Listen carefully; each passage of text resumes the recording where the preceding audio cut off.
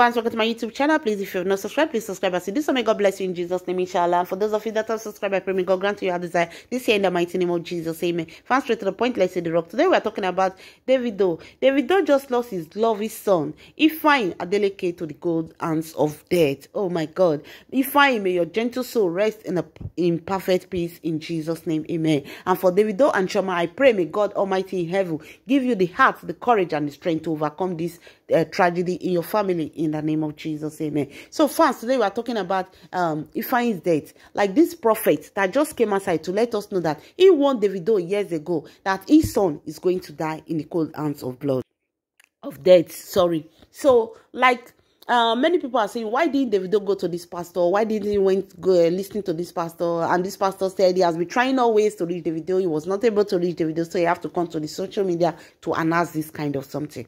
So, like fans, everybody have their own opinion to say. Like me, my own opinion is this: so me, I'm not happy with the prophet. Yes, I'm not happy at all. So, everybody, you can leave your own comment in the comment section and tell me what you think about these things. Because me, as you, uh, I believe that my God is omnipresent. I don't believe that you be a Christian, you are the best. You being a Muslim, you are the best. You being a traditionalist, you are the best. I've read the Bible very well. God is omnipresent. He's present everywhere. Anywhere you call him, he answer. You see you that is going to church, that pray every morning and night. Huh? A sinner that does not believe in God, if you pray, God also answer their prayer. Don't let anybody deceive you. We are all children of God. He said we are all his children. God answer all prayers. All you have to do is beg for your forgiveness of sins. He will accept you. God answer all prayers. So you see, these pastors, I'm not against him coming out to say what he say. But I'm against him coming, in, coming out in social media on the very day that Davido lost his son, coming out to say, I told you years back ago. No, this is not the right time. Like this is not the right time for this prophet to come outside to let us to, to remember how that this is what he said years ago. Like you, you, um, we human beings, we take many things a lot for granted. We overlook a lot of things that way. Things that are serious, we overlook them. Imagine a prophet coming outside to tell you that your child will die, and you just went ahead without even without even doing anything. Like I believe those days when somebody tell you that ah something will keep person, you say eh they will hold that person. What did you say? This word you say is strong. Those days, the words of the man, they are very strong. If you say something that you are not supposed to say, they will hold you. You see these days, people will say nothing will happen. Nothing will happen and things are happening. I believe you to be a prophet of God. I believe you to be a pastor or whatever you are.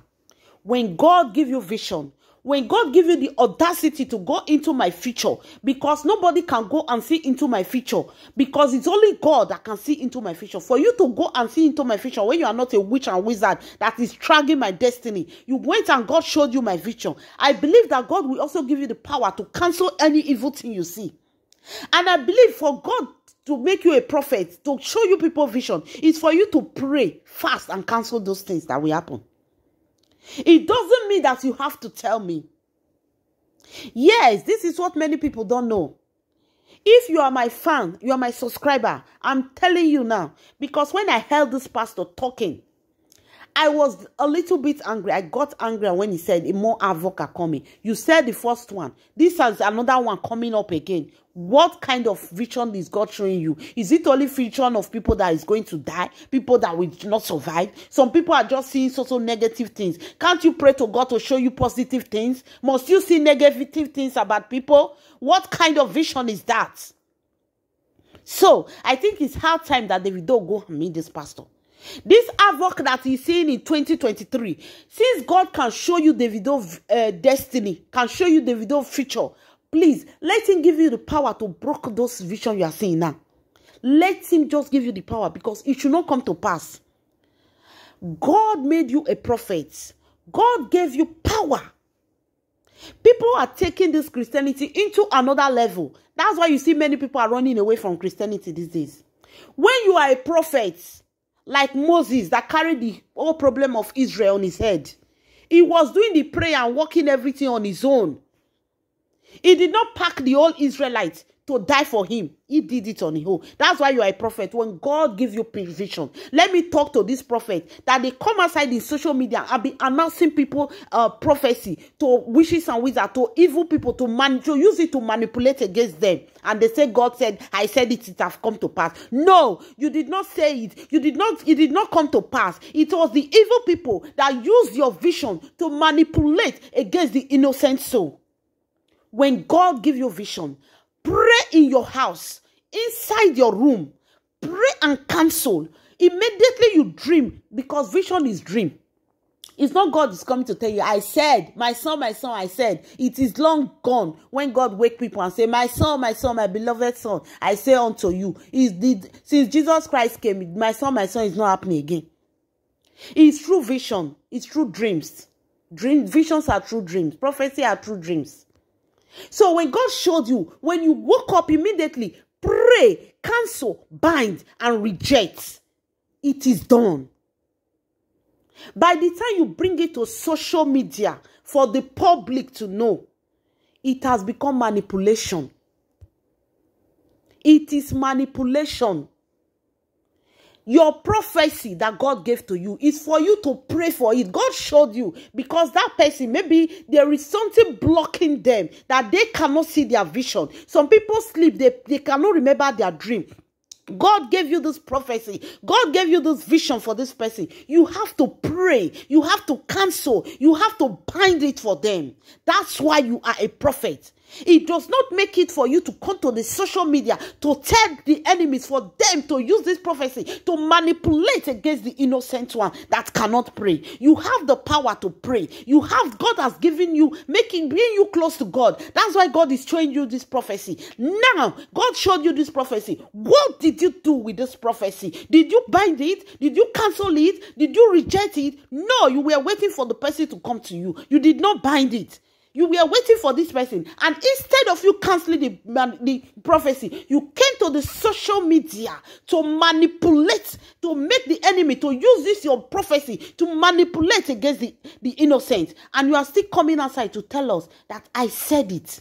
You did not say it. You caused a problem, and you are still causing more havoc. It's better you hold on to your prophecy. Don't say it out, it won't work. Yes. Don't put it into the ears of the bad, the evil. Don't put it into the ears of the devil so that he won't use it to manipulate against anybody.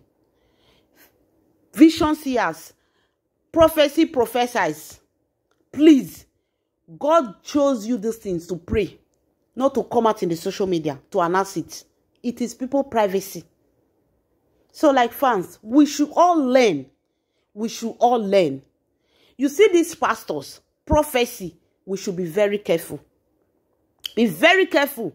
Some people know how to see, they don't know how to pray. They know how to saw, they don't know how to they don't know how to pray. So we should be very, very careful.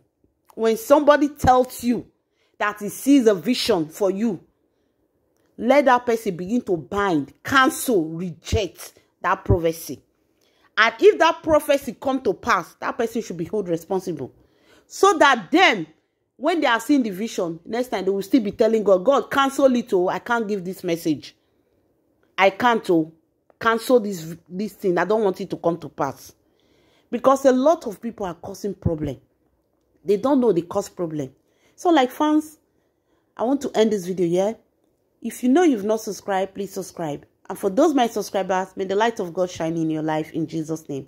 I know this video is a bit long and many people will not like to watch it, but this is a video very educative for all Christians, Muslims, spiritualists, traditionalists. So I'll see you in my next video. Bye-bye.